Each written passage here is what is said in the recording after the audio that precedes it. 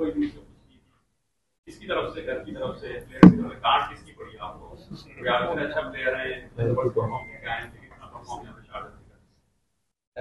देखिए ऑब्वियसली जो डांट की आपने बात की तो हमारे चाहने वाले ही होते हैं, जो हम चाहते हैं कि हम परफॉर्म करें आके और वो बोलते भी हैं समटाइम्स क्रिटिसाइज भी करते हैं और समटाइम्स तारीफें भी बहुत करते हैं तो उनका ये हक है। और अच्छी बात है। दूसरा ये कि जो आपने बात करी कि कितना प्रेशर था तो ऑब्वियसली थोड़ा बहुत नर्वसनेस होती है बट मेरी यही कोशिश होती है कि मैं फास्ट को भुला के जो है वो अपनी नई इनिंग क्योंकि नया दिन होता है, नया मैच होता है तो अपनी उसको उसी फेयरलेस अप्रोच से और प्लान करके नई इनिंग अपनी स्टार्ट करूँ, सारा पुराना बुला के। तो जो है ड्रेसिंग रूम का बॉल बहुत अच्छा रखा हुआ था और हम पे कोई ऐसा प्रेशर नहीं था। बस ये कि जब फ़र्स्ट टाइम आप अपने मुल्क के लिए खेलते हैं तो थोड़ा सा प्रेशर नर्वसनेस होती है ऑब्वियसली हर किसी को जब शदाब भाई पहली दफ़ा खेले थे, इनको भी हुई होगी जितने प्लेयर्स खेले तो शुरू में होती है। और ये था कि परफॉर्मेंस तो ऑब्वियसली था लेकिन आ,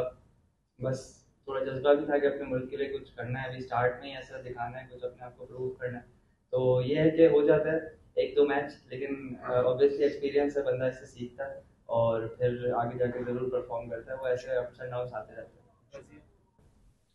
आप लोग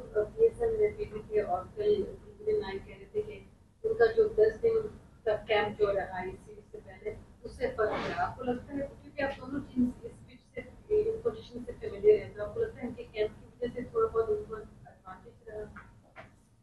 कह सकते हैं, आप क्योंकि हम जिस कंडीशन में खेल रहे थे, वो टोटली डिफरेंट कंडीशन थी और उन्होंने जो कैंप यहाँ लगाया था, वो इसी कंडीशन के हिसाब से था। वो आप बिल्कुल कह सकते हैं लेकिन एज ए प्रोफेशनल हमें ये चीज़ें बहुत जल्दी अडॉप्ट करनी चाहिए, लेकिन मुझे लगता है कि हमने स्टिल अच्छे तरीके से और जल्दी अडॉप्ट किए क्योंकि जिस तरह के हमारे यंगस्टर थे पहली दफ़ा जब आप पाकिस्तान के लिए जिस तरह से हमने बात की, पाकिस्तान के लिए खेलते तो प्रेशर वो रहता है और वो काफ़ी, एक पूरी सीरीज़ में भी रहता है। ये नहीं है कि आप, हर मैच का प्रेशर तो डिफरेंट होता ही होता है, लेकिन जब आप स्टार पहनते हो तो उसका प्रेशर अलग ही होता है। और लेकिन जिस तरह हमारे यंगस्टर ने ये चीज़ अडॉप्ट किया वो आउटस्टैंडिंग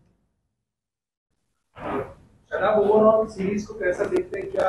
ऐसा मुमकिन था अगर हम शुरू से एक दो सीरियल रीसेंट मैच करके खिलाते तो सीरीज़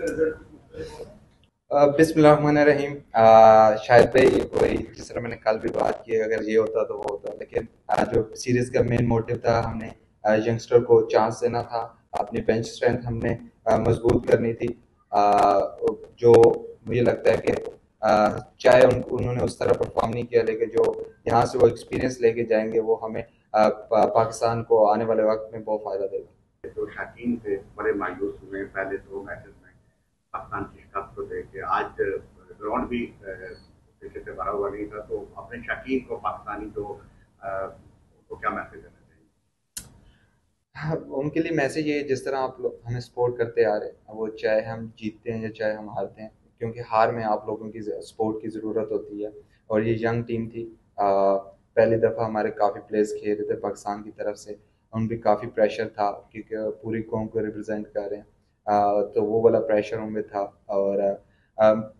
एज ए कैप्टन मैं तो आप लोगों से ये रिक्वेस्ट करूँगा कि यंगस्टर को बैक करते रहे उनकी फेलियर को एक्सेप्ट करें क्योंकि हम लोगों ने कल भी मैंने बात की है कि उनमें टैलेंट है और उन्होंने देखा आप टैलेंट शो भी किया ऐसी कंडीशन को इतना जल्दी अडॉप्ट करना आ, वो भी